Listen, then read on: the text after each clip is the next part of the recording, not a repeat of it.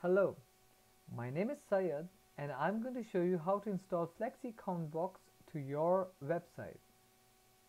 FlexiCommentBox can be installed to any HTML page but today I'm going to do it with iWeb since it's extremely easy. All you got to do is go to flexicommentbox.com and get yourself the latest HTML code.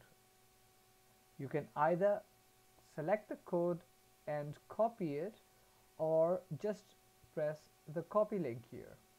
This means the code has been pasted to your clipboard. Now open iWeb and insert a new page. Drag an HTML snippet widget from the right panel onto the main page and paste the code that you just copied from flexicommentbox.com press apply. You get a couple of me messages because the uh, code has been run on a local machine. Once you publish it it's going to be alright. Press ok and dismiss all. Voila! You're ready to publish the page